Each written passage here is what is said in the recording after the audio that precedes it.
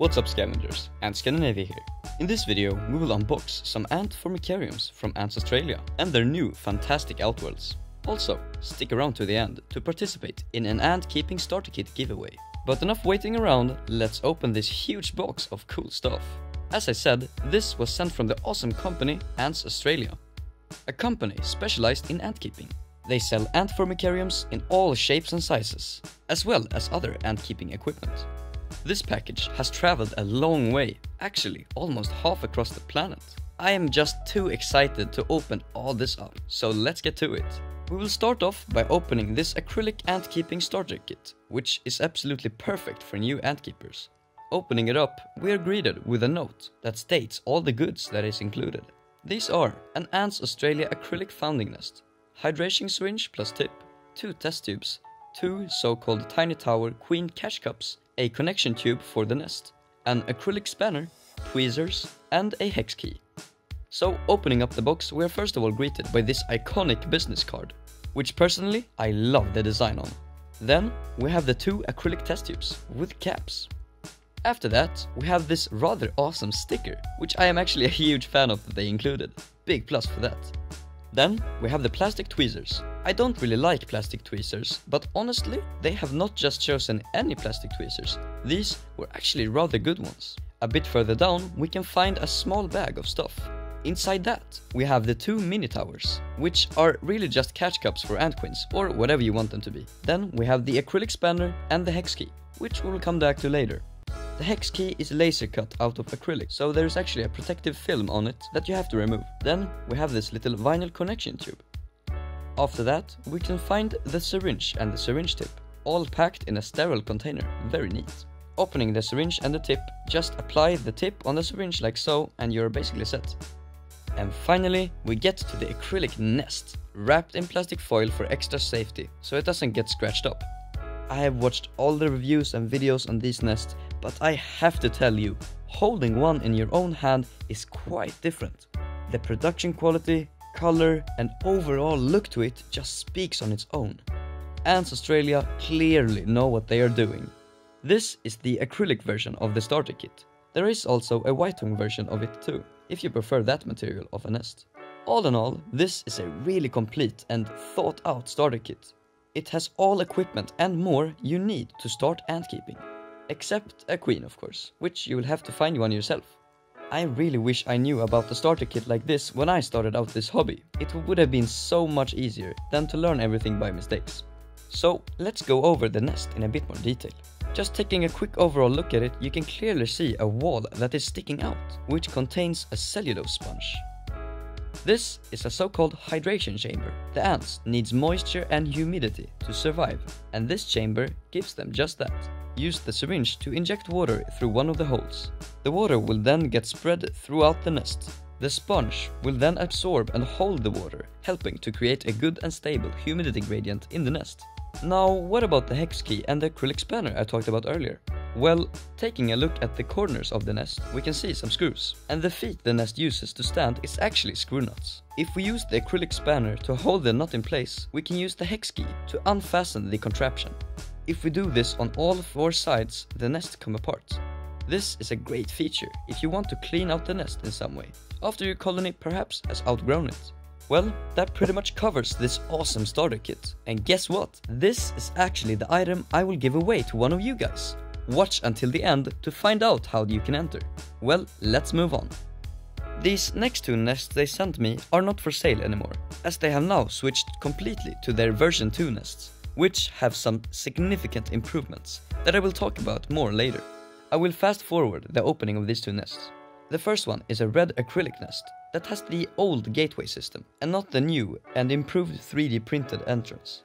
When watching videos on this gateway system, I always felt like the connection tube could easily just fall out. But now trying it on my own, I can safely say that it holds well.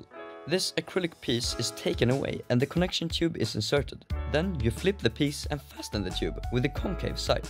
I did some tests to see how it holds and damn, it could take some tension.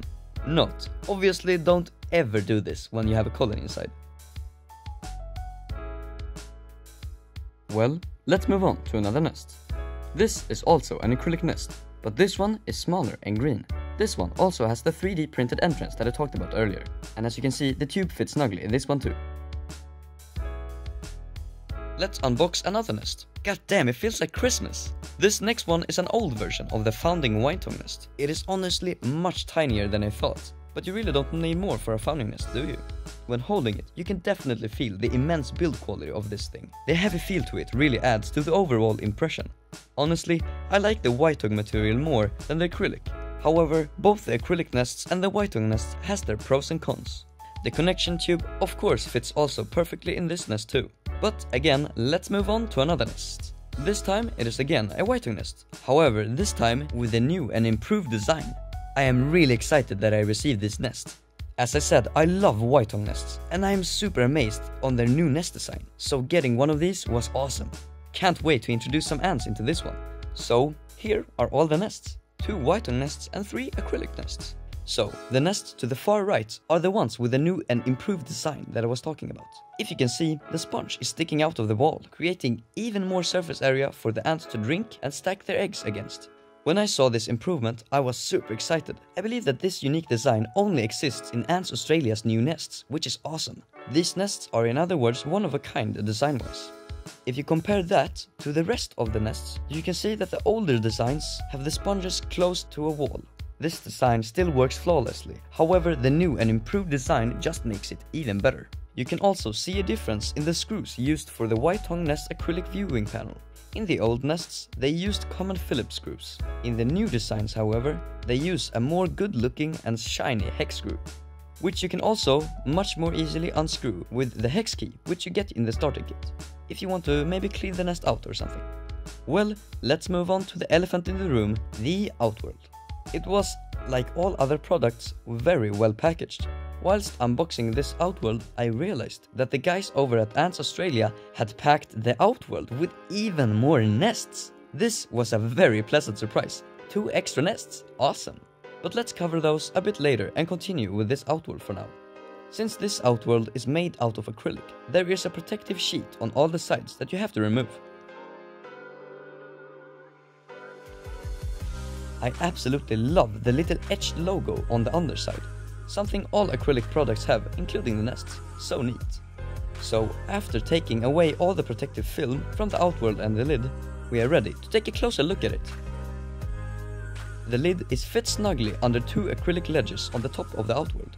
The lid itself is covered with tiny air holes to get airflow in the outworld even though you're using a lid. As you can see when taking the lid off, you still get a lip all around the outworld that you can apply the barrier on, such as olive oil or maybe PTFE. This makes the ants unable to escape, but just as an extra precaution you can also use the lid. The overall feel to this Outworld is like all other Ants Australia products, amazing. Small details like the fact that the edges aren't sharp but instead sanded down are greatly appreciated. Well, with this Outworld you also get a little starter kit, containing the same as before, without the syringe, as well the Outworld don't need to be watered with a syringe.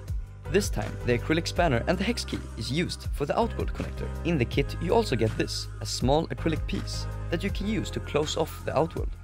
If you maybe want to have a nest inside the outworld instead or something like that, use the hex key to unscrew the current acrylic piece, which is by the way there now to fasten the connection tube, and then screw on the new acrylic piece, sealing off the hole. The acrylic spanner is used in conjunction with the hex key to remove this awesome 3D printed entrance to the Outworld, if you would like to do that for some reason.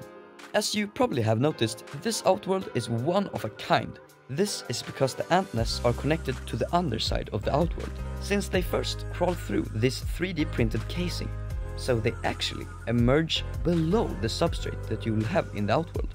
Honestly, I love this idea. Having the ants come from a wall, like a traditional outworld, does ruin the natural behavior a bit, since most ants have their nests underground. Having an entrance like this embraces that natural behavior, and looks much better too. Well, let's move along and look at those two surprise nests I found in the outworld. Alright, so they were actually two of the exact same nests. I am actually glad for this, as I do like Ytong nests more than acrylic. However, as I said earlier, both Ytong and acrylic has their own pros and cons. This is the old design of these nests, and I believe they are not for sale any longer, which makes it even cooler to have one of the old versions in my opinion. These nests are like all other Ants Australia products, built to last and looks great. They have a superb plexiglass for viewing and are designed after the ant's natural nest design. I really hope Ants Australia keeps on growing as a company so that more ant keepers can get the chance of having a colony in one of these amazing nests. Talking about keeping colonies, in the next video or so I will introduce my Messor colony to this awesome nest and outworld, so stay tuned for that. So, it's giveaway time, and as I said in the beginning of the video, I'm going to give away this awesome acrylic ant keeping starter kit to one of you guys. I'm honestly a bit jealous of the winner, since this is a complete set of tools and equipment for ant keeping, plus an amazing nest. How do you enter? Well, first of all, you have to be subscribed to this channel, Ants Scandinavia. And whilst you're doing that, click the bell icon too, so you don't miss out on my upcoming videos. Secondly, I want you to comment on my comment in the comment section below three simple answers to the following three simple questions. Question number one. What ants will you keep in the new nest that you have a chance to win? Question number two. How long have you been ant keeping and what colonies do you have? If you have a lot of colonies, well maybe not list them all, but rather your favorites. Question number three. What is your all-time favorite ant species that you keep or would like to keep and why? I am so looking forward to reading all of your comments on this. The answers does not have to be long and I will pick a winner in an upcoming video. And I will see you guys in the next one. Bye!